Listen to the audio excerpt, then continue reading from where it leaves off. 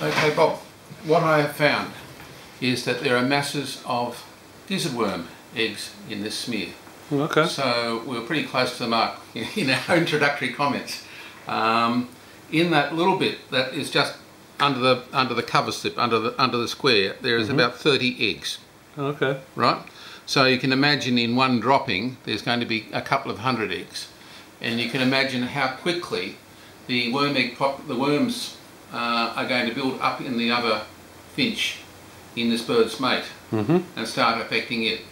The worms live under the koilin layer of the the uh, the gizzard. So the if you ever do a necropsy on a on a on a finch or on a chook, you'll find that the gizzard is a, a thick muscular organ, and it's got a very very thick leathery lining on the inside of it. And the worm egg, the actual worms, live on the underside or uh, between that and the fleshy part of the gizzard and they look like little tiny strands of muscle, microscopic, almost microscopic in a finch, but they're there. Okay. Um, the treatment, my favourite treatment for this particular infection is moxidectin, and we'll be giving it. Um, probably, I used to do it once a month, but I think we'll go to once a fortnight, um, and I'll work out how to dose that for you for this size finch. Uh, we'll have a look at your finch in a moment, but I just thought I'd give you this part of the, the, the diagnosis so far. Um, so we'll be doing moxidectin once a once a fortnight, once a month, um, for at least four months. In the meantime, we'll need to be breaking the, uh, doing whatever we can to break the life cycle in terms of um, treating a bird, hygiene, elbow greases, and then uh, disinfection. So elbow grease and disinfection are key key components of getting this under control quickly because wherever a single pup has been passed, there is probably in the order of 200, maybe 500 worm eggs at the mm-hmm. moment. So all old pups have to be removed from perches, from branches, from anywhere in the in the cage. I gather they're in a cage rather than a aviary at the moment, so that They're kept as a single pair in a cage. Yes. Right, so that should make your job a lot easier in the short term. Um, if you've been going from one cage to another without washing your hands, just usual practice, um, it's quite likely that you could have spread the, the gizzard worms to other um, cages at the same time. So um, I would just be doing this bird, this group of birds for a, initially and seeing if we can keep this bird alive and see if we can keep the that the moxidectin is not a- acting adversely with them and so forth. Um, but anyway, that's I used to use ivermectin, but I think oxy, uh, moxidectin is more reliable. Okay. Um, so that is that part. I did not find any megabacteria. And can you tell me whether they've got any sandgrit?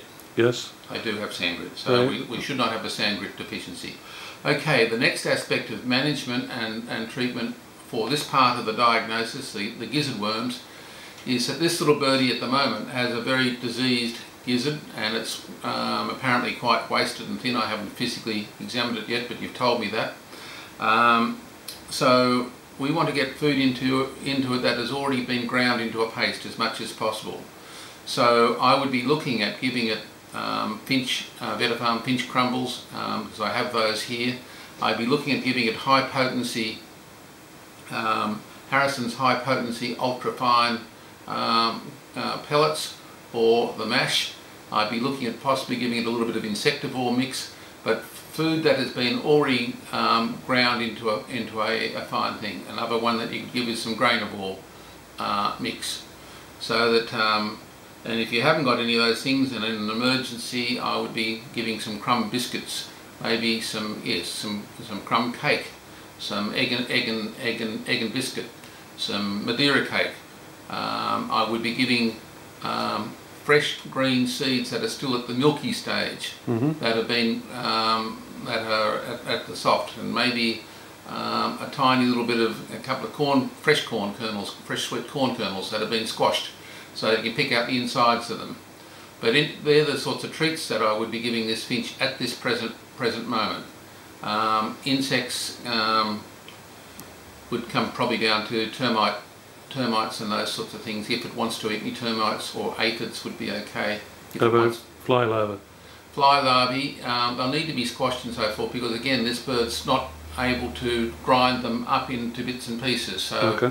um, where where the fly larvae have been um, been uh, you know fully washed, etc., and then then given a bit of a squash and it's eating eating a freshly squashed one, so its digestive juices and the the contents of the fly larvae can be absorbed. Yes, but no, no, none of the big ones. Okay. Alrighty.